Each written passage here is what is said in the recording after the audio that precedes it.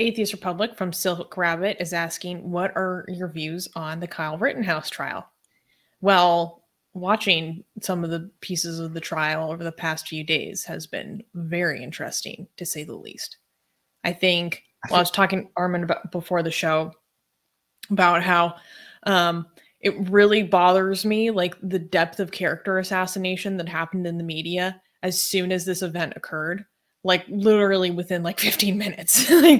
um, and I was talking to him about how when I was like Pakistani Mujahideen, like I when I would hear people say like, "Oh, left wing media bias," blah blah blah, like I thought they were just bullshitting and like dog whistling. And sometimes I still see people say like left wing media bias, and I think they're totally full of crap, especially when it comes to like queer issues.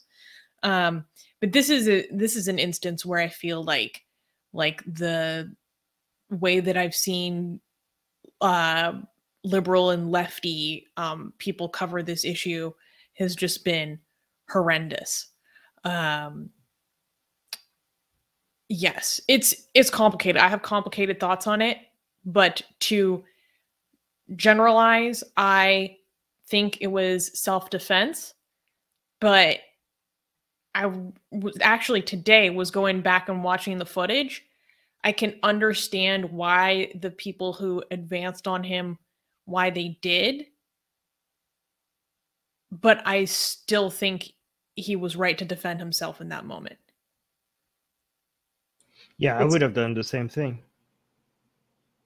If I was on the ground like that and some people were coming to at me like the way they, they did, I would have like I would worry about the legal issues later. I would I would do ex- what he did to live, right?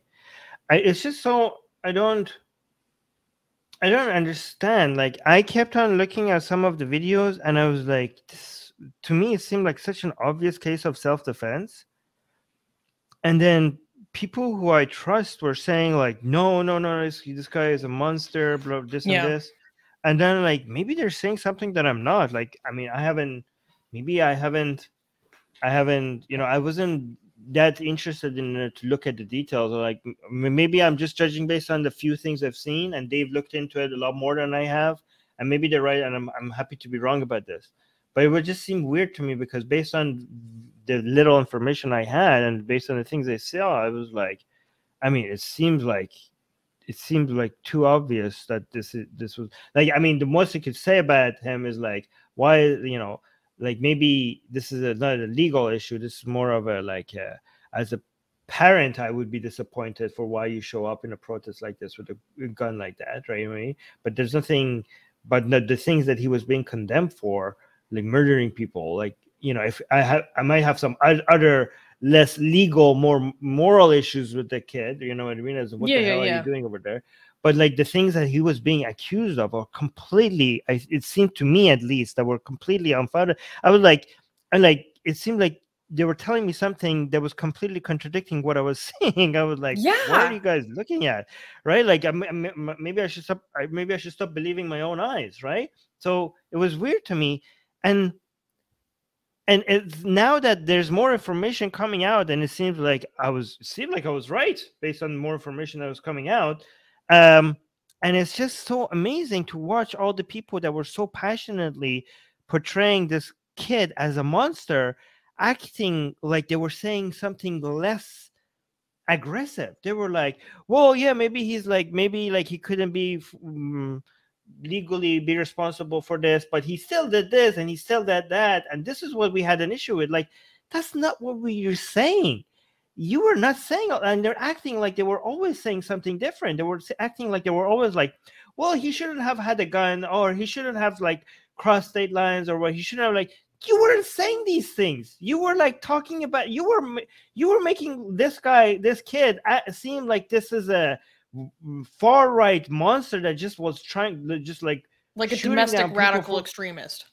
Yeah, like that's not what you were saying. You're and you're you're not even pretend like instead of saying I'm wrong, I was so yeah, yeah, wrong. Yeah. You're acting like you were saying something else from to begin with.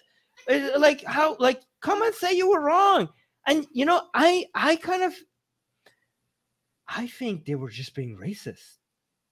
I think Oh, this was this is getting spicy now. i no, I seriously think this is a case of this is a white kid with a gun, and I don't think I honestly think this is a.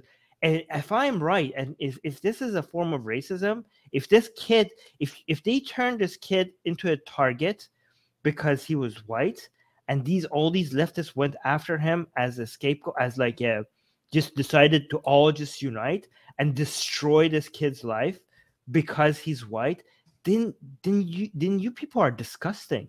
Like you decided to make this kid's, uh, kid's life as a target for your amusement, for your enjoyment of taking a male white white male person down, even though he's a kid, as a way for you to get joy out of seeing somebody on on not left leaning.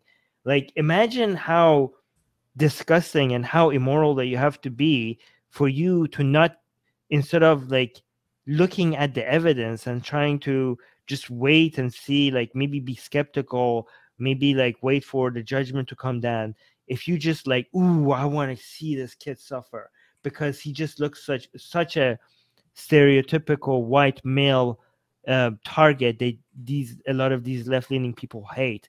If that was if that was the motivation if his whiteness or if it had anything to do with how much glee and how much joy people were getting out of like what wanting to see this kid suffer or burn or get like the form of justice that they that they believe in. If that was the motivation then you have to look at yourself uh, you have to you have to look at the mirror and say like i'm a racist and i need to i need to change. Like this is disgusting. I'm a disgusting piece of crap and i need to i need to fix myself really quickly.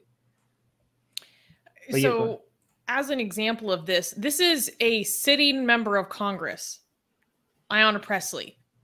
She tweeted this the day after it happened. A 17 year old, can I say this right now? Because of YouTube. um just say low melanated supreme sandwich If you want to know what I'm really talking about, just look at the screen, okay? A 17 year old low melanated uh, supremacist, domestic, violent, radical extremist who drove across state lines Mm. armed with an AR 15. He shot and killed two people who had assembled to affirm the value, dignity, and worth of Black lives. Fix your damn Wow. headlines. again so The at next this day, the next Yeah. day, we know, Mm. like, this drives me crazy. This drives me crazy.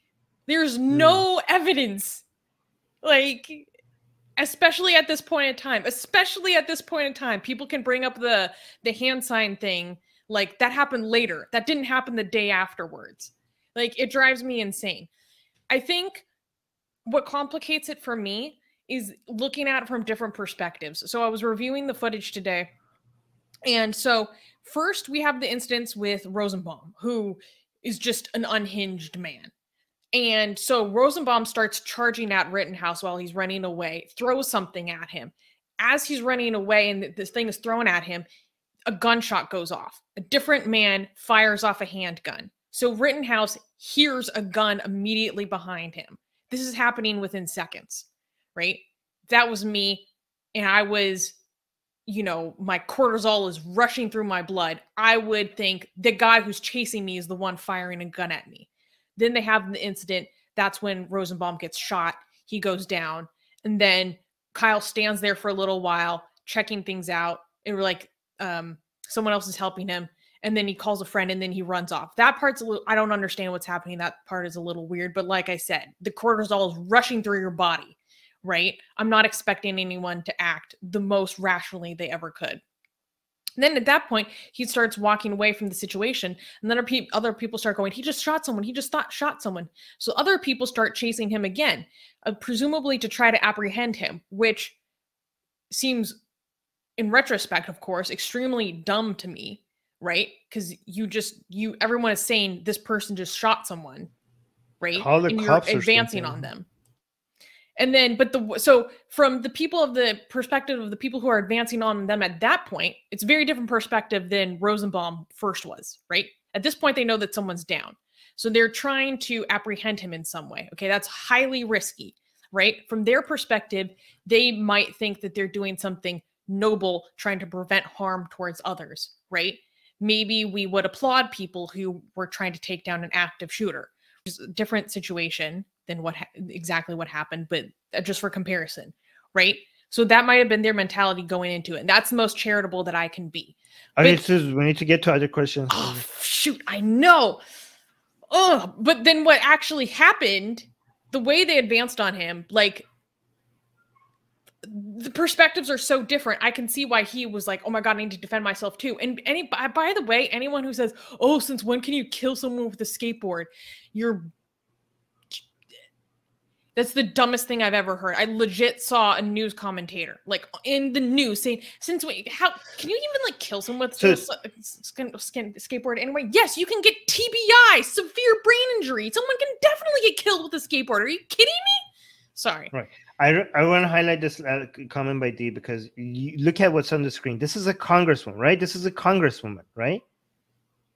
So D is mm-hmm. saying all involved are white has nothing to do with racism. They will make it about racism if you're white. It doesn't matter if the victims are black or white. If you are white, they will make this about race.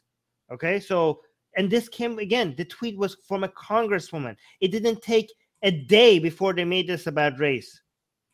Hey guys, if you're a fan of Blasphemy and Sexy Kali, you know, like me, then you need to be sure to subscribe to our newsletter. Link in the description below. Because if you subscribe, we will send you a free copy of our Blasphemous Art ebook. And let me tell you, it is the tastiest blasphemy that you can find anywhere available today. And we are so generous with our blasphemy that we continue to send you more blasphemy every week. So make sure to subscribe. Link in the description below.